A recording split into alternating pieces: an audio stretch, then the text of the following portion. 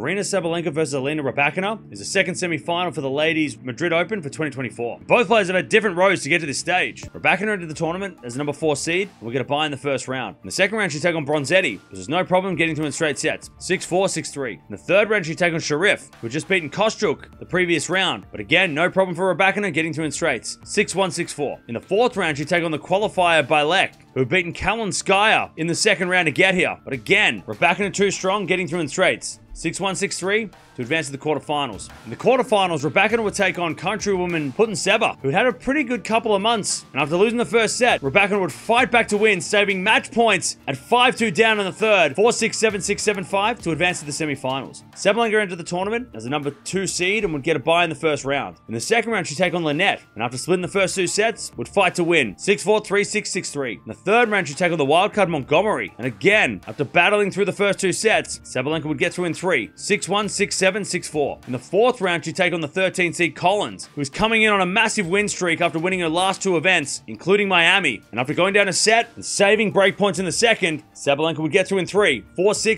6-4, 6-3 to advance to the quarterfinals. In the quarterfinals, Sabalenka would play Andreeva, a lady she played 12 months before and had the easy win. And this year we're no different, with Sabalenka getting an easy win again, 6-1, 6-4 to advance to the semifinals. Two have played eight times before, with Sabalenka holding a 5-3 lead against Rybakina. However, the last time they played was in Brisbane at the start of the year, with Rybakina getting a 6-love, 6-3 win, but they've never played on a clay court, so the first time they're playing on clay could be a really interesting clash, considering both are capable of playing on the surface. Rybakina's going to win this one. She needs to win the first set. If she goes down a set against Sabalenka, the way that Sabalenka's been playing, especially in that Andreeva match, she's going to run away with it. So you can't give an early lead to Sabalenka in this one. She's got to win the first set. She's also got to keep her cool. She was a little bit annoyed against Putin Putintseva. Now, Putintseva was getting everything back, so Sabalenka's not going to be like Putintseva, but she's to keep her cool. Sabalenka's going to win this one. It's all about the serve and the forehand. She's got to use those ground strokes to move Rybakina around. Even though it is on clay and, you know, power doesn't work as well on the clay, it's Madrid clay. So power does work here for some reason, so she's going to have to use that power against Rybakina to make a move.